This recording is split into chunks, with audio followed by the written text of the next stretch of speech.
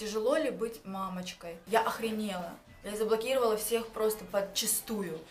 Привет, мои хорошие, с вами Селена Свей, и сегодня у нас будет а, срочный, незапланированный выпуск про материнство. Совсем недавно, хочу с вами поделиться, я выставила пост в Инстаграм, где сказала, это как раз таки было перед тем, как э, уже неоднократно меня просили рассказать про материнство, как я воспитываю ребенка. Будь здоров, зайка как я воспитываю ребенка, чем я его кормлю, какой у нас режим. Было бы интересно послушать.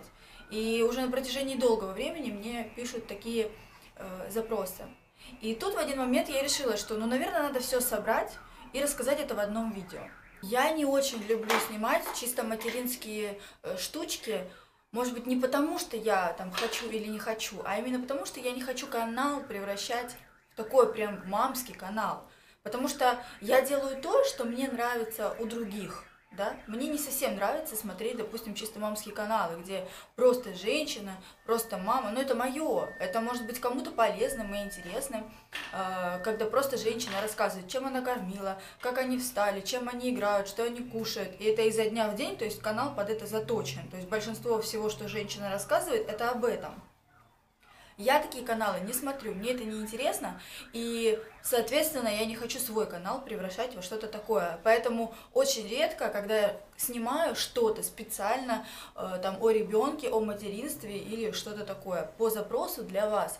В основном мое видео это э, хорошо провести время, посмеяться, э, я имею в виду на видео, да, поржать с чего-то, э, что-то полезненькое рассказать именно для девушек, о косметике, о шмотках, что-то такое. Э, мне кажется, что это более интересно на самом деле, да, чем какие-то рутинные моменты такие, которые, ну не знаю, это лично мой взгляд. Я, конечно, очень много времени провожу со своим ребенком и очень много сил оставляю там, но при этом как раз-таки то, что я рассказываю на своем канале, это выжимка небольшая с моих дней. Почему этот выпуск решил быть таким экстренным, можно сказать? Потому что после поста, где я написала, девочки, оставляйте свои вопросы, э, я расскажу о материнстве, да, как, что, если есть что-то. Почему-то после этого большинство, мне даже кажется, да, в какой-то момент, потому что когда я начала чистить э, свои комментарии, из 130 комментариев у меня осталось 45, наверное, большинство все-таки большинство комментариев э, решили, что я эксперты, и что сейчас я начну давать какие-то советы о материнстве, что я считаю себя супермамой, которая сейчас будет раздавать советы, как нужно воспитывать ребенка. Я вообще не понимаю, откуда это взялось, я никогда не говорила. Более того, у меня недавно был влог, где я говорила о том, что это такие редкие супермамы, что просто они такие супер-мега молодцы, которые успевают делать все. В садике над этим работают несколько человек, чтобы обеспечить да, полный комфорт детям. А тут одна ты, и все, и развивать, и стирать, и убирать, и готовить. А если еще муж есть, то еще и мужа, еще за собой следить, понимаете? А еще есть такие, которые зарабатывать при этом умеют. Но это разве не мега-женщина? Это мега-женщина. Я восхитилась такими и говорила, что я не такая, я ничего не успеваю, что бывают там какие-то эмоциональные внутренние там переживания. Но не суть. Я никогда не говорила, что я в этом эксперт. Более того, я сказала, я в этом профан. И учиться, и учиться. Я не знаю, как правильно воспитывать ребенка, что нужно делать в тех или иных вещах. Но я стремлюсь, развиваюсь, естественно, я обращаюсь к профессионалам, благо у нас э, YouTube и полно всего в доступности, где можно посмотреть и послушать и довериться одному из профессионалов, который расскажет тебе, как и что, в какие моменты нужно делать. Так вот, э, большинство людей решили, что я эксперты, и просто столько грязи вылили на меня в Инстаграме. Я вам скажу, что если бы это была не я, вот со своим, знаете, э, со своей уверенностью в себе, со своим знанием, какая я мать и какие матери бывают, это сломило бы любого. Я просто... Не, у меня в голове не укладывается, как можно такое писать. И это писали матери, у которых там и двое детей, и трое детей, и по одному. Я не сужу даже, кто из них лучше, у кого трое детей или у кого один – но сам факт того, они мне говорили о том, что материнство это не мое, Ты, конечно, классная, вот умудрялись еще так писать, ты, конечно, классная, косметика, там, шмоточки, но материнство это не твое. И указывали на такие моменты, что я не отучаю ребенка от соски, он до сих пор у меня ходит в памперсе, он не разговаривает, ему 1,10, 1,11 будет скоро. Um, он не разговаривает, что он там еще не делает. Короче, он ничего не делает, он у меня какой-то неразвитый весь там и так далее.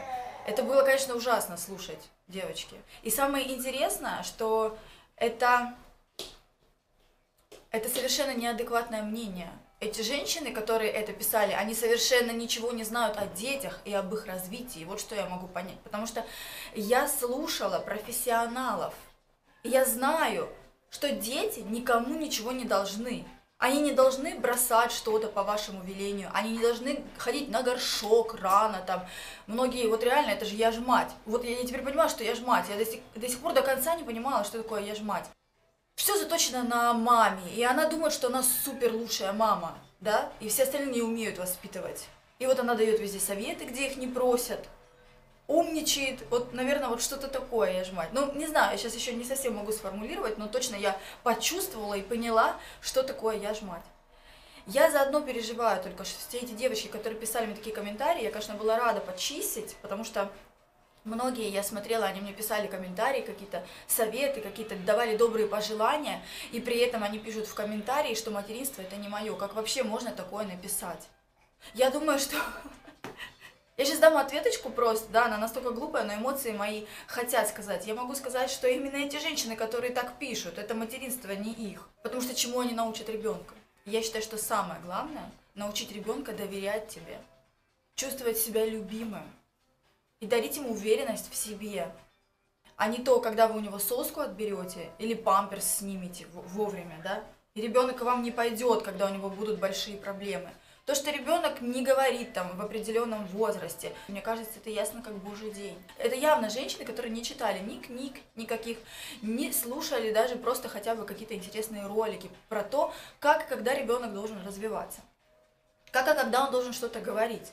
Тысячи людей пишут о том, что там мальчики бывают, говорят позже, хотя тоже это не факт, бывают и раньше разговаривают, ну, как правило, там говорят, да. Настолько все это индивидуально с детьми, и мне кажется, каждая нормально уважающая мать себя должна об этом знать. Но почему-то они этого не знают, и более того, они в комментариях еще учат меня жизни. Так просто один этот комментарий их, где они учат меня жизни, говорит о том, что они ничего не знают о материнстве. Они ничего не знают о воспитании. То есть они, для них это нормально зайти к человеку, что-то все в голову плюнуть, или посмотреть выжимку мою. Я, я даже блоги, более того, я даже, то есть мне говорят, мы видим из видео что-то. А, я влоги снимаю, выкладываю раз в неделю, один час. Это не выжимка из 24 часов, это выжимка из недели. Естественно, я не буду в эту выжимку вставлять какие-то вещи, там, если он, вы увидели его с соской, это не значит, что он все время ходит с соской. Если вы увидели его в памперсе, это не значит, что он все время ходит в памперсе.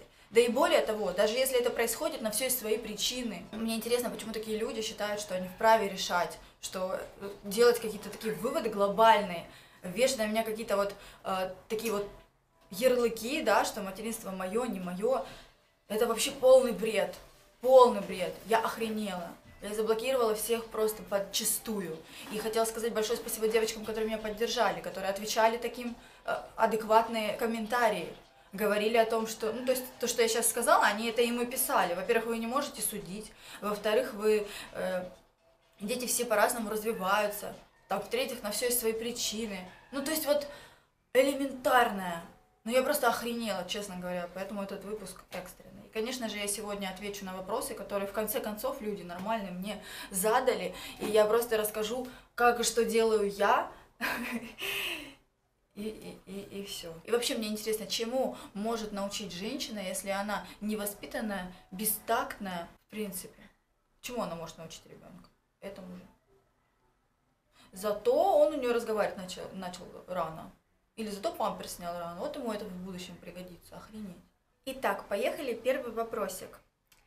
А, Селена, бывало ли у тебя такое, что, например, оставила ребенка с бабушкой и уехала по своим делам, но возвращаться домой к сыну не хочешь? Отвечаю. Э, такого не было, в принципе, чтобы я не хотела приехать к своему сыну. Было, конечно, такое, и такое происходит.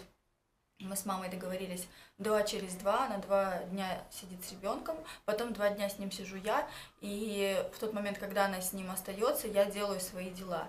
И за это время из своих дел по пальцам можно посчитать, когда я просто подарила время себе. Пошла куда-то с подругой в ресторан, так все, я не могу попасть в кино, потому что, мне кажется, это такое трата времени, да, когда, ну, как бы я не могу позволить себе это, да, то есть максимум там пойти где-то покушать, почувствовать воздух, бриз и как бы что-то такое. И то мы разговариваем все равно о делах. Я, если выхожу на улицу, то нон-стоп я делаю свои дела. Я кушаю практически на бегу. То есть нет такого, что я раз там пошла гулеванить, нет. То есть я иду, сначала мне это, потом то. У меня целый список всего, и хорошо, если я успеваю все вовремя, там, к 7 часам приехать, пока еще не потемнело, чтобы маму отпустить домой. Вот, и да, то есть только в последнее время я начала себе, вот, допустим, второй день уделять э, вот как-то на что-то. Но опять же, говорю, по пальцам посчитать. За все это время, может быть, три раза я уделила себе внимание и делала то, что я хочу. Просто расслаблялась, не думая о делах. Это на второй день. Первый день я делаю дела, а второй день вот так вот себе позволила несколько раз. Но так, чтобы я не хотела, я всегда хочу к нему идти, я всегда переживаю, что он как там, и мама пишет мне все время, что вот он там уже скучает за тобой. И я еще больше начинаю суетиться и бежать к нему. Более того, я планирую какие-то поездки и очень сильно переживаю, когда я вдали от, от дома. Я очень сильно переживаю, что что-то может случиться, я не знаю, там какие-то непредвиденные обстоятельства. И из-за того, что я это переживаю, а это стало так, да, с, с, когда ребенок появился, стало так, что я много переживаю. То есть мне надо находиться непосредственно с ним рядом и контролировать все, как, как и где он, что он со мной рядом. И из-за того, что я уезжаю, допустим, вот я уезжала в Саратов, по-моему, насколько я помню, или я уезжаю там в Москву вот на, по каким-то делам, у меня полностью везде все подстраховано, на любой случай, что моя мама справится со всем. Не буду я вдаваться в подробности, потому что не хочу, а что именно я делаю, но я забочусь о том, чтобы не было никаких проблем ни у кого. Если не дай бог, как, какая-то ситуация выйдет из-под контроля. А как питается Дэнни? Сама готовишь? Какие блюда любит больше всего? Разрешаешь ли кушать сладости? Сладости мы не кушаем. Я его не балую там какими-то конфетами, потому что я знаю, все это вредно. Есть определенные сладости, которые ребенку можно, например, там детские, какие-то батончики, они там вот даже полезные, да. Фруктоша, разве это не сладко? Сладко. Э, яблоки, фрукты, да, там сладко-сладко. То есть шоколад, конфеты, что-то непонятное, химозное, я ему не даю такое и даже не дразню, потому что если он попробует раз, он увидит эту этикетку, будет все время просить. Поэтому сейчас он у меня очень ровно относится. Бывает, что-то я ему могу дать там попробовать иногда, но он даже от этого отказывается. Как мы питаемся? Мама у меня в свое время э, выписала в интернете, что в каком возрасте должен ребенок потреблять и в каком количестве. И мы за этим вместе с ней следим. То есть утром у нас обязательно кашка. Э, кашка какая? Готовлю я сама или не готовлю? Всегда по-разному. Каши скорее я ему не готовлю, я их покупаю готовые для детей с определенного возраста. Они вкусненькие, и он их безумно любит. Но сейчас, например, есть каши, которые уже продаются готовые, их там с водой растворять. Да, вот такое покупаю. Э, мне кажется, что там все сбалансировано, вот так вот сзади прочитаешь очень много всяких полезных вещей. Мне кажется, это даже полезнее, если бы ты сама просто рисовую кашу сготовила. И самое интересное, что ну, некоторые вещи он не любит. Вот он любит вот эти, да, каши, которые уже продаются, да, э, они какие-то более вкуснее. Как-то мы готовили ему каши, он их даже не ел. Даю то, что любит. Вот он любит эти всякие кашки э, в тетрапаках, вот такие вот разные вкусы это мы даем. Э, что касается смеси, э, смесь я тоже еще даю ребенку, потому что я считаю, что там сбалансированное питание. Но я не, не целыми днями даю, я даю один раз в день, либо я даю это утром рано, да, либо я даю это на ночь. И он очень любит это молочко. То есть обычное молоко я ему не даю магазинное. И даже детское не даю молоко. Мне кажется, нет у нее ограничений, до какого возраста должен он ее пить. И мы с мамой в этом согласны. Она говорит, там очень много полезных элементов всяких для развития. На ночь почему нет? Э, дальше у нас идет на второе обязательно что-нибудь. Э, как правило, мама у меня приходит, она готовит. Я дома не готовлю потому что меня готовит мама. Она приходит довольно часто, она наготавливает кучу еды, и остальные два дня, которые ее нету, мы это едим. Бывает, что-то я там заказываю, ну, себе, но ребенка, естественно, не кормлю тем, что я заказываю, хотя сейчас есть очень много и хорошего меню. Я могу приготовить, но это очень редко. И мне кажется, если я не готовлю, это не говорит обо мне, как о плохой матери, например. Это полная глупость. Я готова платить большие деньги, чтобы мой ребенок питался э, ну, хорошо. То есть для ребенка на детские какие-то товары, на детское питание я денег не жалею.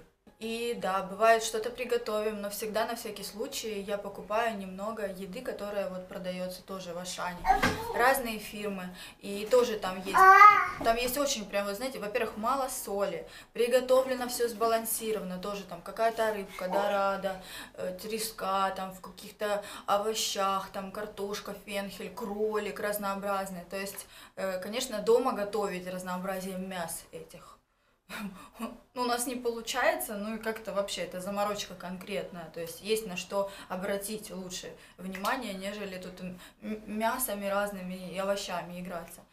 Вот, то есть готовит мама, допустим, у меня что-то по стандарту, она может приготовить курица, индейка, там говядина, свинина редко, э, тоже с овощами там или с картошкой, там сделать что-то такое овощное. Вот. Ну, например, какие-то там кролика, или там цыпленка, или там рыбу какую-то, хотя рыбу тоже она у меня может готовить. Э, ну, допустим, я беру и покупаю это все вот в готовые такие баночки. Он с удовольствием все это есть. Вот нет ни одной баночки, которую бы он не захотел есть. То есть он с удовольствием все есть. И когда я пробую, я понимаю, что там, э, ну, в принципе, в составе все написано. Мне нравится. Это именно тогда, когда, допустим, что-то закончилось, или, допустим, ну, например, мама приготовила там на первый день, да, вот второй день я могу ребенка этим накормить, на третий день я уже не буду кормить. Ну, лично я такая. Мне кажется, что это уже, блин, не свежее. То есть это я могу съесть, ребенку я это не дам. Я ему лучше достану что-то из баночки. А, потом обязательно у нас э, идут фрукты. Э, он ест либо фруктоши, либо яблоки, груши, бананы любит. Обязательно идет какая-то кисломолочка, творожок. Все покупаем детское, то есть мы не покупаем взрослое и там как-то там делаем или еще что-то. То есть я все покупаю детское, детский творог, детская молочка. Э, любит хлеб, очень сильно любит хлеб. Если я не слежу, то он может вообще полбуки, мне кажется, съесть, но я выдаю ему определенно. Э, любит хлеб, хлеб с маслом, с сыром, даю ему самый нежирный сыр, покупаю хороший какой-нибудь. Вот. Ну, в принципе, то есть все элементы питания, которые должен, должен ребенок получать, он у нас получает, мы за этим следим. Следующий вопрос. А, делали ли все прививки и как укладываешь сына? Насчет прививок это такая тоже очень э, история щепетливая, щепотливая, щепотливая, как правильно это щепотливо говорится. А, потому что я заметила, что в жизни разделились на два лагеря. Одни яро за то, что прививки, и особенно врачи вообще просто манипулируют такими словами, как вы не защищаете ребенка от болезней каких-то или еще что-то. А вторая половина, которая против прививок, и тоже есть на это свои какие-то факты, есть на это свои какие-то причины, э, и тоже, которые имеют место что это лучше ребенку не делать эти прививки, э, по какой причине их не делать там и так далее. Я смотрела много роликов по этому поводу. Одни из близких моих людей, у которых родственники тоже врачи, они тоже не делают прививки по причине того, что это очень вредно и есть там свои общие знакомые, которые тоже да, кандидаты наук, которые ездят даже с лекциями в разные города, говоря о том, как прививки влияют на ребенка. Вот. Но у нас общая пропаганда пока что есть еще, и в поликлиниках э, я вижу, хоть они говорят, мы не заставляем вас делать прививки. Но при этом они давят такими рычагами, вообще неприятными, что любой человек такой немного более-менее там ведомый поведется и сделает, можно так сказать, да, эту прививку. Ну, то есть вы не любите своего ребенка, если вы не делаете прививку. Вы его не защищаете, а он обязательно заболеет, понимаете, и все. И вот тогда будут проблемы. Ну, то есть, то есть вы не заботитесь о ребенке, вот такие манипуляции. Ну, это полный бред вообще. И я э, ребенку прививки не делала, только сделали одну прививку. Опять же, что-то я испугалась, боялась, еще не совсем там знала какие-то моменты. Но какую-то прививку, по-моему, от туберкулеза. Что-то такое вот от или гепатит, или нет, гепатит не делали, туберкулез, по-моему, что-то такое, короче, в пяточку сделали, когда он был маленький. Вот. Но я и тоже пожалела об этом, не надо было делать никакие прививки. А, я, в общем, много смотрела разной литературы. Если э, вам интересно, мне вообще очень сильно понравился один ролик в интернете. Там э, женщина одна, она вот, она профессионал в своем деле, она вот ездит э, с лекциями по городам. И это все снимают и выкладывают прям в полной мере. Там три часа видео есть, где она рассказывает, почему и как не нужно делать там прививки, или, нужно, или не нужно. В общем, мне она очень понравилась, потому что она очень все подробно, популярно, раскрыто, открыто рассказывает, что я с ней в большинстве, даже во всем практически согласна, что редко. Если кому-то будет интересно, напишите мне в Инстаграм, я ее найду и обязательно скину вам ссылку. Просто для общего развития послушайте. Вот. Также мне очень импонировало мнение там известного э, человека, такой как Бородина, у нее двое детей. Одной она делала прививки, другой она не делала, у нее был такой пост. И она сказала, что Тея намного меньше болеет, например, чем Маруся. Или вот, ну, то есть она разницу какую-то почувствовала, и она вот против прививок не делала. Вот я какой-то пост прям отдельный у нее на странице в Инстаграме читала. Ну, это как бы яркие моменты, которые запомнились. И так тоже я прислушивалась, да, к другим. И согласна в какие-то моменты, почему не нужно делать прививки. Ну, потому что большинство прививок не актуальны. Раньше это было обязаловка, и сейчас должно быть как бы причина. Прививки тоже ведут свои последствия. Очень много всяких осложнений, очень много некачественных прививок и так далее, и так далее, и так далее. А, как укладываешь спать? Укладываю спать очень легко и просто, он у меня сам ложится, то есть он, я вижу, он хочет спать, и он спит, в принципе. То есть у меня нет такого, что он спать не хочет, а мы его, короче, насилуем. Ну, мы пытаемся уложить спать, как мы укладываем? Даю соску, он знает, что нужно спать. И соску, на самом деле, он не ест у меня там 24 часа. Он ее ест именно когда засыпает, перед сном. Потом во сне он ее выплевывает. То есть за 24 часа 30 а, минут, там, допустим, 10, 20, 30, всегда по-разному, мы его укладываем, он эту сосочку сосет. Потом она у него выпадает изо рта, он просыпается, он ее уже в принципе не сосет, если только не увидит где-то, что она лежит. Ему по приколу ее. Но ее легко очень у него забрать. Просто на что-то выменить, отвлечь, и он не будет за ней бегать, дайте мне соску. То есть это у нас не какое-то такое сильное желание, без которого мы не можем жить. И на ночь. Так его намного проще уложить, естественно, без соски он не заснет. Я пробовала, э, я думаю, что оно все само сойдет на нет. И что касается, говорят про прикус, там плавно, да, перешла к соске. Э, да, я согласна, там я читала, смотрела, все это там прикус неправильно развивается, но я думаю, что от того, что ребенок в сутки 30 минут соску гоняет во рту, от этого прикус не изменится. А, я ложусь рядом с ребенком, мы спим вместе, я ложусь рядом с ребенком, делаю вид, что я сплю, он меня вот так вот обнимет и сам засыпает. То есть я его не укачиваю, ничего специального такого не делаю. Единственное, что я его пытаюсь устать за целый день, чтобы он активно провел время и устал. Тяжело ли быть мамочкой? Ну, это непростая задача. То, чтобы там тяжело, мы с вами, женщины, очень выносливые, мы все вынесем, вытерпим, но, конечно, нужно проявлять много терпения, но много заботы, внимания. И, естественно, раньше как-то... Это, конечно, любого человека выбьет из колеи, потому что раньше мы просто живем, живем, живем, живем и думаем только о себе, что мы хотим, куда мы хотим, э, о своих чувствах и желаниях, как бы нам себя развлечь, да потешить. А когда рождается ребенок, вы просто об этом не думаете.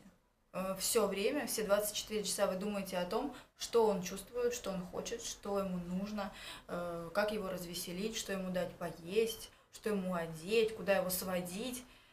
И все. То есть ваши желания уходят... Это даже не второй план, потому что там второго плана нет, там только первый план ребенка. До второго дела не доходит.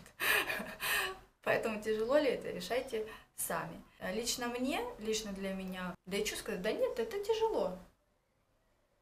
Я думаю, что да, материнство это тяжело, это нелегко, однозначно. Здесь нужно и работать над собой, над своими эмоциями, и много-много всего, короче, там входит. Да, материнство это нелегко, Сразу хочу предупредить. Пусть девушки не думают о том, что это легко стать мамой. Какие были твои первые эмоции, когда узнала, что беременна? Ты счастлива, что мама? Хочешь ли ты еще деток? Если да, то сколько? И как ты думаешь, влияет ли на ребенка в данном случае мальчика, то, что он живет только в женском коллективе? Или папа и мужчина в доме может воспитать совсем по-другому?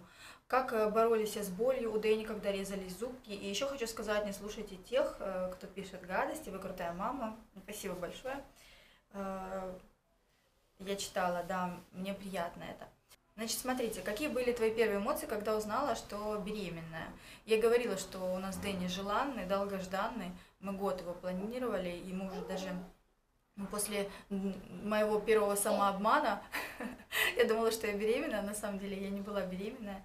Мы так обрадовались, а потом так расстроились, что после этого до конца не верили в каждую мою такую беременность в течение года еще, да. И когда я действительно была беременная, то есть мы вдвоем с мужем там я говорю, да, Зай, по-моему, я беременна, точно, уже теперь сто процентов. Он говорит, нет, пока к врачу не пойдешь, я не поверю, потому что он не хотел сильно расстраиваться, потому что радость настолько велика, что расстройство очень сильное, если это не так. И мы радовались, я честно скажу, я прыгала. Это впервые в жизни, когда я прыгала от счастья. Это счастье ни с чем не сравнить. Ни одно. Ни покупка машины, ни покупка квартиры, ни поездки за границу, ни какие-то там выигрыши, я не знаю, подарки. Это все фигня. это реально все меркнет. Когда ты беременна, я прыгала до потолка. Да, я радовалась очень сильно. Я считаю, что я счастливая мама. Конечно, однозначно. А хочешь ли ты еще деток, если да, то сколько? Да, хочу. Ну, минимум еще одного.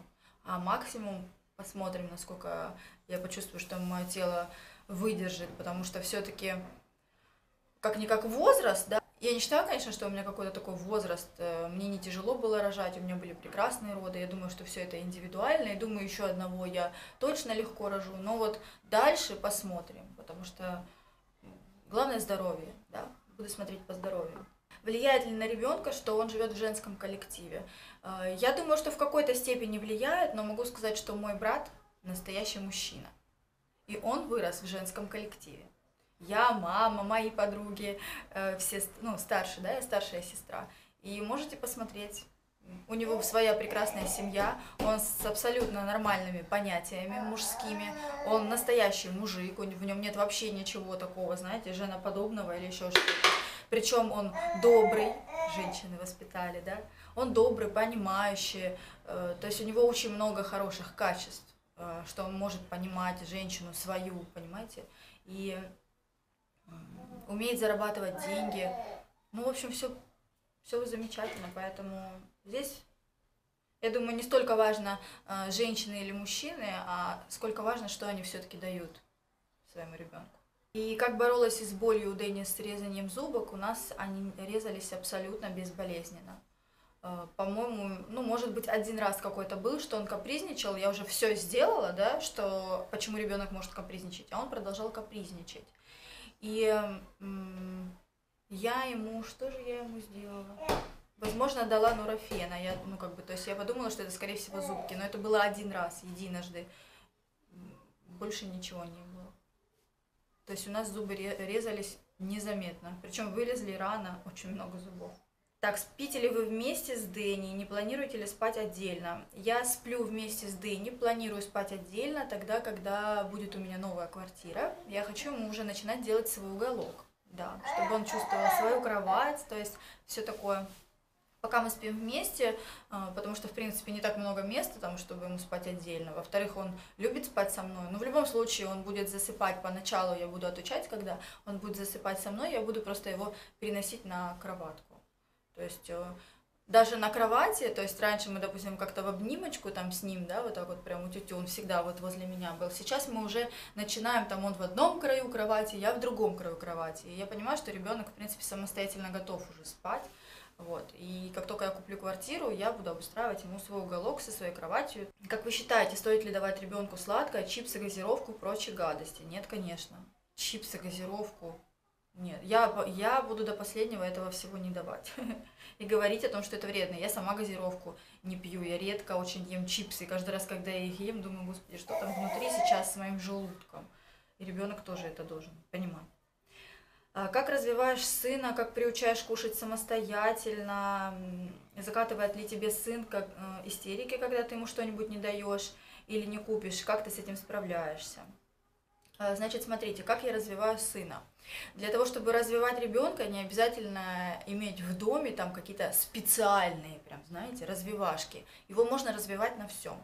Я с сыном постоянно разговариваю. Я постоянно что-либо, когда ему даю, или вот прохожу, я всегда указываю на цвет, что это такое, что с этим делать. Ну, я постоянно разговариваю. То есть э, я вижу, что ребенок, он, как многие говорят, мычит. Он у меня не мычит. Реально, я знаю, когда дети мычат, я слышала это. И это тоже неплохо, у всех все по-разному развивается. Но у меня ребенок э, очень много гласных говорит, он у меня говорит на своем языке и говорит отдельные слова мама, баба, дай, там, на, и так далее, так далее. То есть я сейчас все не вспомню. Есть какие-то кися, там, гав, мяу. То есть все это говорит. И прекрасно на картинках показывает, где кися, где собачка, где птичка. То есть открываем любую книгу и начинаем читать, показывать. Вместе с этим показываю эмоции, какие должны возникать к определенным тем или иным вещам. Да? Ну, в основном добрые эмоции. Очень много развивающих игрушек, в принципе, у нас, да, но я понимаю, что развивать ему можно на всем. Есть музыкальный, есть песок кинетический у нас, моторику. Я над этим работаю, чтобы он моторику развивал, какие-то мелкие вещи, чтобы он ковырялся. Э, там всякие квадратики, кубики, засовывал всякие игрушки. Ну, полно всего, честно. У нас вот два целых ящика со всякими игрушками. На всем можно ребенка развивать, абсолютно. Больше всего хорошо проводить ему вместе с детками, поэтому я и хочу, чтобы он пошел в садик. А, и как раз-таки там он научится намного быстрее, чем я его буду здесь насиловать, ругать за, за какие-то, там, не, не там пописал, например, там, да, или там не сходил, не пописал куда-нибудь. Буду ругать его по каким-то моментам, причем ругать нельзя вообще ребенка, если он э, пописал, например, не там, не попросился на горшок или еще что-то, и вы там, ты вот надо писать сюда, надо писать сюда, а не сюда, ты что сделал, тра-та-та. Вот так вообще делать нельзя на самом деле. Просто это один из способов, на самом деле, научить ребенка. Это просто организовать вечеринку с детьми, чтобы он посмотрел просто, что другие дети делают и что получается из этого. И быстро будет повторять. Я думаю, что в садике мы быстро научимся ходить на горшок. У меня знакомая, она говорит, что тоже раньше засыпали с соской, когда пошли в садик, с первого же дня спали без соски. Ну вот как-то так, да. Как приучала кушать самостоятельно ложкой. Обыкновенно. Положила ему еды, посадила, показала, как держать ложку, и все, и он кушает, сам питается. Ну, где-то направляешь потихоньку. Сейчас у меня спокойно есть сам, конечно, немножко все может, смотря э, жидкая еда или там потверже, да, весь может быть в этой еде. Ну, ничего страшного, зато все бывает. А даже ел так, что даже ничего вокруг не размазал. Все в рот. Молодец. Так, и как я справляюсь, когда у ребенка истерики, это я смотрела уже специально, на самом деле, потому что я сама немного растеряна была в такой момент, что же делать. Он очень резко начал у меня истерить, прям такой, прям падает на пол, истерит, прям что-то ему не дали. И я начала задуматься, что здесь нужно как-то себя правильно вести. Э, я не понимаю, что себе, как вести, я немножко теряюсь в этом моменте. Мне очень понравилось, порекомендую вам канал, называется, я уже говорила, Family Is. И там есть одна психолог, там, то есть несколько психологов, которые детские, да, они рассказывают о развитии, они мамы, действующие и э, профессионалы своего дела. Такая девушка там есть, она худенькая такая, у него такая стрижка светленькая. Мне вот очень она импонирует, я просто не помню, как ее зовут. Но я очень много роликов у нее посмотрела полезных, как приучить горшку, там, ну, очень много таких, знаете, животрепещущих тем, которые она рассказывает, очень успокаивает мам и дает очень дельные советы. И вот, кстати, по поводу детских истерик, она дала конкретные советы, значит, что мы делаем. Вот, вот, у ребенка истерика, да, ну, если он чуть постарше, если он чуть помладше, умеет он говорить или нет. Э, есть определенные методы. Значит, первое вы там делаете, например, вот у него истерика.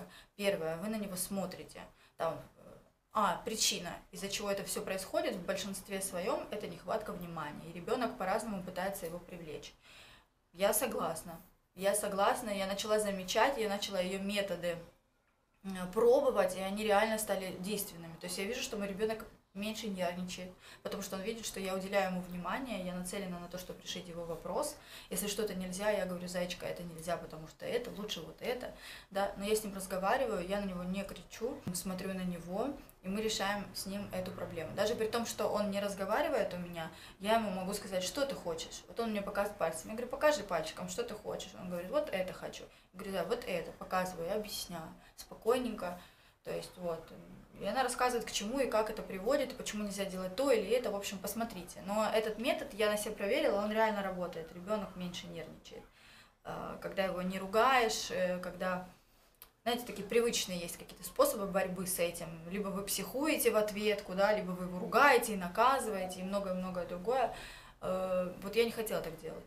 И мне понравилось то, что ну, как бы изначально ему не хватает внимания. В какой-то момент вы его не дали, и ребенок вот просит его разными способами. Твой сын пойдет в армию? Э, честно, не знаю. Вообще об этом не думала, еще рано об этом думать. Я думаю, что ближе к тому времени мы решим уже, что он будет делать. Сколько лет вашему сыну, почему он еще в подгузниках? Это вот тоже, да? Почему он еще в подгузниках? Один из вопросов таких, который уже закладывает в себя э, какой-то ответ. Ну, потому что есть на все причины свои. Э, во-первых, это не сразу убирается подгузник. Нужно время на то, чтобы отучить ребенка от этого. Во-вторых, я еще не, не вижу, чтобы он совсем понимал, что нужно сходить на горшок. Он не ходит на горшок. Я не хочу, например, вот мы живем на съемной квартире, э, и мне не нужно, чтобы был матрас весь, допустим, ходил он на матрас на этот, понимаете? Конечно же, на ночь я одеваю ему памперс, то есть спит он в памперсе. Я думала, конечно, там постелить клеенку, но с клеенкой спать невозможно. Вообще она, короче, ерзает, скрипит, трещит там вся. Я, короче, пробовала, убрала эту идею. Э, Днем он спит у меня без трусиков, то есть, ну вот сейчас, допустим, да, последний, после поездки нашей, последние там две недели, он ходит постоянно в памперсах, потому что у нас э, э, дисбалансировался наш стул, да, и он ходит по несколько раз в день, и в туалет по-большому, да, и всегда по-разному. То есть ты не знаешь, как оно. Оно только формируется, и здесь без памперсов никак не обойтись. Он, то есть он сейчас у меня вот последние две недели ходит постоянно в памперсах. И даже более того, мы там на пляж как-то пришли, не на пляж, а на бассейн, в памперсе. Потому что ребенок может сходить в туалет в любой момент. Это как раз у него было начало вот этого вот ротавируса, который мы поймали. Поэтому на все могут быть свои причины. Ребенок может болеть, поэтому мама дает ему соску, чтобы эта болезнь как можно менее болезненно для него прошла. Если у ребенка жидкий стул, и он постоянно ходит в туалет, то здесь спасают, естественно, памперсы, даже дома. Не будете же вы его отпускать без памперса, когда у него, э, когда у него расстройство какое-то, да, желудка, и будете потом везде ходить это и вытирать, как бы зачем? Все везде будет вонять, ну как бы я не знаю, вот элементарные какие-то вещи, люди просто о них не задумываются. Селен, как ты думаешь, правильно воспитывать ребенка с раннего возраста, орать и так далее? Какой поступок сына довел тебя до этой меры или такого не было? Нет, я считаю, что на детей нельзя не кричать, не бить их вообще никак. Я думаю, что это более правильно, но здесь нужно больше терпения проявлять и вообще собственной мудрости. Э, потому что родители, которые кричат на своих детей, это от собственного бессилия, и это вообще ну, никак не эффективно. А, тем самым они только воспитывают какие-то зажимы, мне кажется, и комплексы в ребенке. Это неправильно. И это от слабости идет женской. Нужно быть мудрее, нужно, э, нужно обращаться к профессионалам в этом смысле, чтобы они настроили внутри так. Это огромная работа и еще развитие параллельно с тем, когда вы с ребенком, э, когда вы воспитываете ребенка правильно, это огромное саморазвитие должно быть. А, Селена, как оставаться спокойной с ребенком непоседой, как справляешься? Но ну, дети все, они чего-то хотят. Я вообще спокойно, честно говоря, к этому отношусь. Ребенок ходит, лазит. То есть для меня самое главное, чтобы он откуда-то не упал и как-то не поранился. То есть я везде все ограждаю, а так что хочет, то и делает. Хочет бесится, хочет орет, я вместе с ним поору что угодно. Пусть выматывается, может сходит с ума от, от непоседливости, да, то я бегу с ним на улицу, он должен свою энергию все, у них очень много энергии, это несравнимо с нашей. Я уже там вышла, три минуты устала, а ребенок может три, четыре, пять часов, у него энергии очень много, они вот в этом развиваются, воспринимают все это вот, как бы, я нормально к этому отношусь, вообще никак к этому не справляюсь, просто ровно, пусть развивается, пусть кричит, бегает, играется. Придет время постарше, когда будет более какие-то вещи понимать, когда с ребенком можно будет разговаривать, что-то ему объяснять. Э, мне кажется, что будем объяснять, объяснять, объяснять. Будет все понимать на своем опыте, как себя нужно вести, так или иначе. Пока они дети, им, очень многое позволено, что не позволено взрослым. И я считаю, что этим надо пользоваться. Я многое ребенку позволяю. Например, лежать на асфальте, лечь на травку посредине где-нибудь там, понимаете, детской площадке. Я прикалываюсь, я и сама могу с ним лечь. Думаю, отличный повод лечь мне на площадку, на асфальт. Ну, это прикольно. Классно. Вот, поэтому я ему какие-то такие вещи позволяю, которые, конечно, когда он подрастет, я уже буду говорить, что так делать не нужно, это выглядит странно. Так, расскажи, что для тебя главное в воспитании сына. Бывает ли у тебя желание быть во всем идеальной мамой? Находишь ли ты время для себя и как это организуешь? Был ли Дэнни на грудном вскармливании, чтобы ты выбрала между идеальной матерью и счастливой? Как относишься к домашним родам и родам в присутствии мужа? Начнем сначала. Итак, э, что для тебя главное в воспитании сына? Как я сказала уже в начале, если я об этом сказала, что главное, чтобы мой ребенок рос уверенным, знал, что его любят, знал, что его поддержат. И я бы хотела, чтобы было доверие ко мне. Если все это будет, то все будет замечательно. Я над этим работаю, я считаю, что это самое главное в воспитании ребенка. Бывает ли у тебя желание быть во всем идеальной мамой? Да нет, я просто смирилась, наверное, с тем. Было, может, поначалу, хотя я не припомню так точно. Но я смирилась с тем, что я не идеальная мама, далеко не идеальная. И идеальной быть э, невозможно, мне кажется. Мне кажется, нет вообще идеальной мамы, как идеальных людей. Это понятие очень относительное. Если такой человек есть, то это просто гуру на всех фронтах, мне кажется. Мудрый, опытный, счастливый, дарящий счастье, но он вообще невероятный какой-то человек. Таких очень, очень мало. Я думаю, они есть, но их очень мало, и очень встретить. Это должна быть такая сильная связь и такая хорошая карма, чтобы встретить таких людей на пути и перенять у них все это. В основном ну, я не вижу идеальных. Я вижу, например, идеальное в том, что она там э, готовит дома разные блюда ребенку, но не, не идеальное в воспитании, там, например, ребенка. Может кричать на него, там, может бить.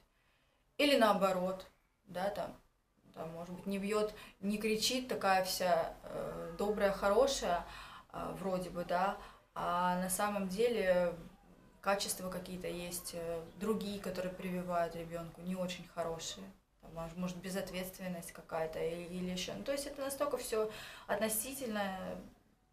Я говорю, это супер мамы, каких я не встречала, честно говоря. Поэтому нужно просто стараться давать ребенку максимум и базироваться на каких-то, может быть, ну, основных вещах, да, вокруг которых все крутится. А все остальное изменится, ребенок еще вырастет, он еще попадет в социум, еще попадет в какие-то компании, и там уже 300 раз все поменяется. Но мне кажется, что вот уверенность в себе и любовь, доверие ребенку, в ребенке именно к себе нужно рождать.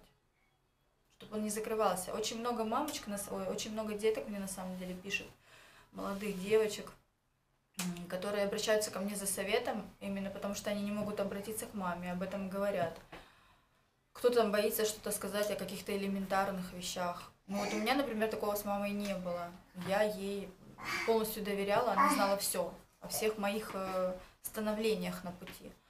Вот. Я считаю, что это, ну, то есть она была для меня подругой. Это было очень важно, и до сих пор у нас сохранились такие отношения. Я хочу, чтобы у меня тоже так было с ребенком. И, и поэтому я чувствую себя уверенно в жизни, и поэтому я себя чувствую счастливой в жизни.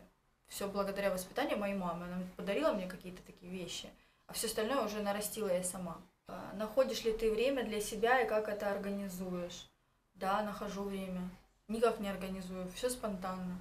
Просто когда появляется свободное время, я уделяю себе. Это очень мало, но как? Вот так.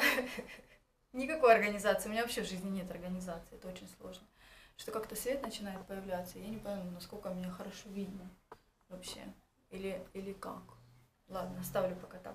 Был ли Дэнни на грудном вскармливании? Да, Дэнни был на грудном вскармливании, и в этот период я питалась там хорошо и правильно, а потом в какой-то момент я просто уже сорвалась, знаете, это когда э, долго вы не едите любимой еды всякой. Потом я уже сорвалась, и опять же со временем очень большая напряженка, я начала есть непонятно что, и я стала очень сильно, ну как непонятно что, Э, то есть э, на бегу немного, витаминов немного стала получать какие-то, да, организм, потому что мало кушала. И мне казалось, что что-то какое-то молоко у меня не сильно полезное, мне казалось.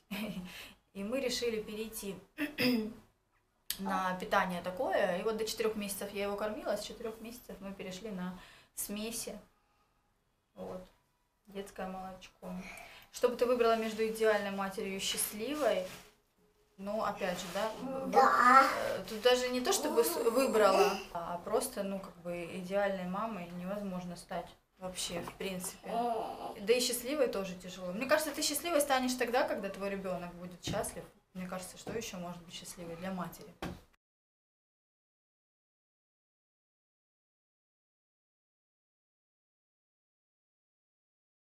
Как ты смогла вырастить такого классного парнишку одна? с мужем на расстоянии, как Дэнни привыкает к садику. Начнем с садика. Пока что он никак не привыкает, потому что мы только завтра, вот это видео я снимаю в понедельник, во вторник у нас э, анализы мы только сдаем, потому что там направление берешь, потом неделю ждешь. Я уже, ну, тем более пока он еще у меня восстанавливается, это тоже, в принципе, хорошо. Сейчас сдадим анализы, и потом анализы дождемся, если все хорошо, мы сразу бежим в садик. И тогда уже смогу рассказать о том, как он к нему привыкает. А по поводу того, как вырастила такого классного парнишку, ну, еще как бы тут как бы сложно судить, какого я вырастила парнишку, потому что он еще маленький на самом деле. Вот, но а, папа на самом деле принимает участие в воспитании. Естественно, я с ним всегда советуюсь, что и как. Они болтают по WhatsApp постоянно, по видео. То есть э, он знает, что папа, он его кормит. Ну, все это понятно через э, экран, ну, пока что так. Он его кормит, он ему что-то рассказывает. Он берет так телефон, идет, ему рассказывает, как мы на карусельках, например, катались. Вот, то есть, э, да все нормально, все хорошо. Тут очень сложно судить, эм, о том, вот как ты воспитал. Я ничего не делаю специального. Просто вот такая, какая я есть, я все это передаю ребенку. Если я с чем-то не справляюсь, я обращаюсь к профессионалам, благо есть хорошие каналы и хорошие люди, которые рассказывают очень полезные вещи. Я рекомендую к ним обращаться за советами, смотреть ролики. Как сделать так, чтобы в будущем ребенок доверял тебе и не боялся делиться, э, всем советоваться. Вот, да?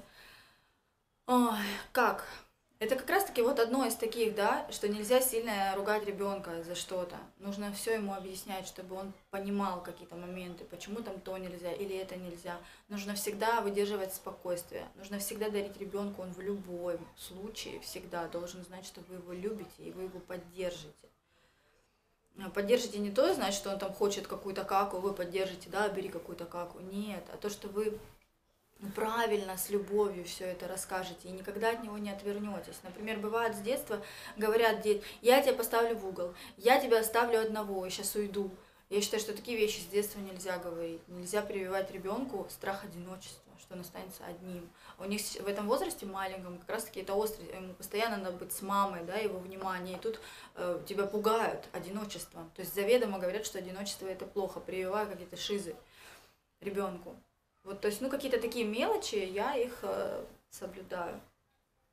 И в, в любой ситуации, как бы, я думаю о том, что может здесь бояться мой ребенок. Но опять же, это огромное саморазвитие, чтобы уметь это все замечать.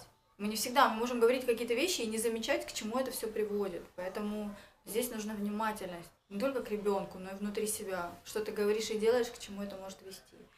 Ну и, соответственно, опять же, да, надо много читать, развиваться. Вот ты часто ходишь в заведение с малышом. Как научить его себя там вести? На что внимание обратить? Короче, темка такая интересует. С какого возраста лучше начи начинать посещать кафешки?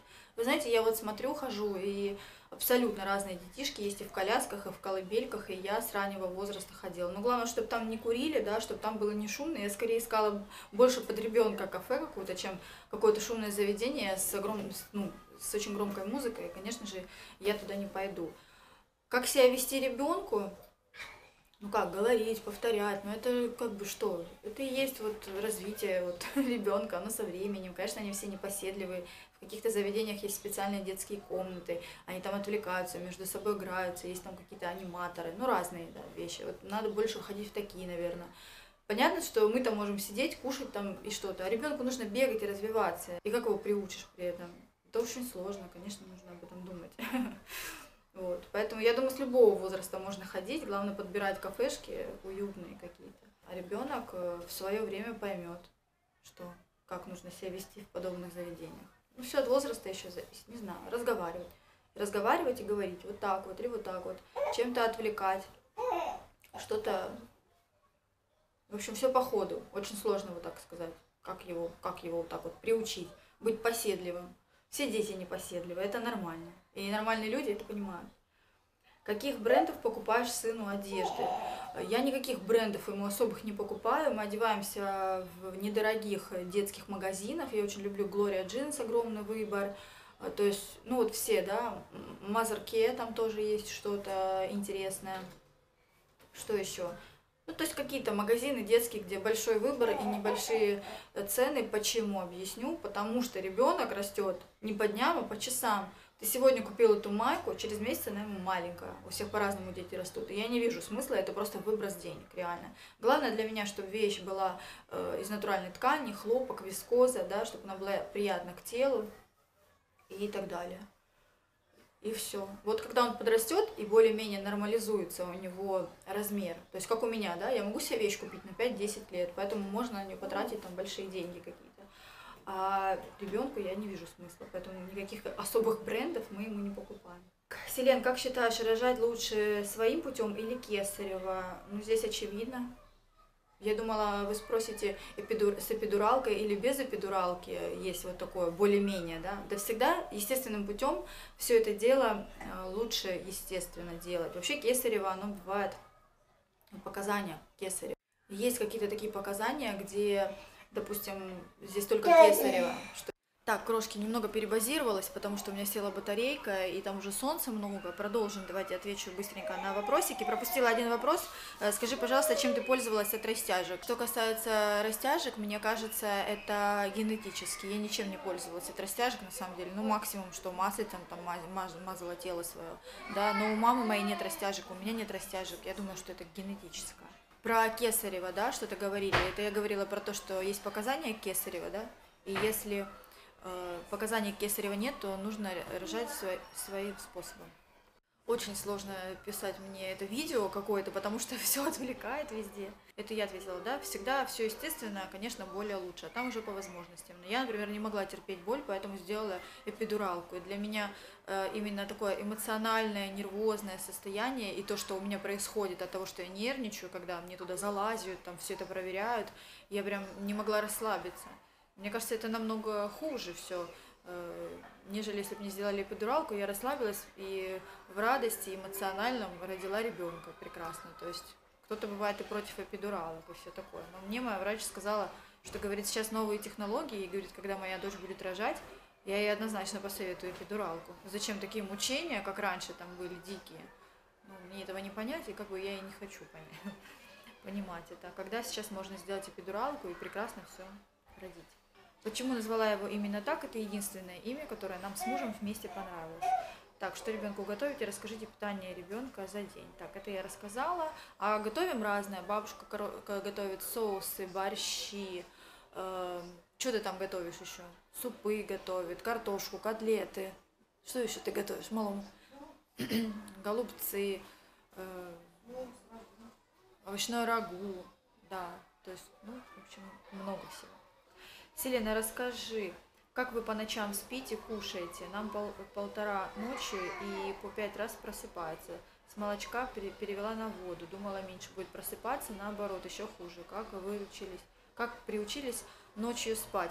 У нас все происходило естественно. Я сама думала, когда этот момент настанет, чтобы ночью не вставать. И в один прекрасный момент он сначала там два мог просыпаться раза, потом один раз просыпался, а потом в какой-то момент и мы проснулись утром вместе. И я поняла, что он не просыпался. И с тех пор как-то не просыпался. То есть ничего, приучений никаких не было, ребенок развивается сам, и все происходит естественно. Вот. И сейчас мы, я его кладу спать в 9 часов вечера, всю ночь он у меня не кушает, то есть я его на ночь накормила. Нан, например, дала либо молочко, но лучше нан. Он легенький как раз на ночь, мне нравится. И вот э, он встает в 7 утра, и в 7 утра я ему даю кашку утром. Так, как ты справляешься с капризами малыша, сказала. Вот, в принципе, все. Так, что не по теме и не по материнству, я отвечать на эти вопросы не буду, потому что уже очень длинное видео. Надеюсь, мое видео было полезным и интересным. Я все вам рассказывала не как эксперт, а как такая же мама, которая воспитывает ребенка, которая учится на своих ошибках, которая развивается и стараюсь что-то самое лучшее дать ребенку, слушая разные советы от других в тех или иных ситуациях. И, ну, как бы, свое что-то из этого, из этого что-то свое выводя и применяя на ребенке. Вот. Вот и все. То есть никаких конкретных таких советов и обучений, как что и правильно делать, я не даю и считаю, что этого в принципе никто не, не может делать и не должен. Вот. Всему свое время и главное, что ребенок здоровый и счастливый.